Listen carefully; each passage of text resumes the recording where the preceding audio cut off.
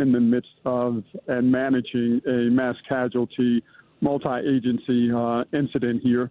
Uh, as you know, approximately 1:30 this morning, a vessel uh, traveling through the Patapsco River uh, outbound collided with a column, uh, causing a collapse of the uh, Key Bridge. unfortunately, we understand that there was many as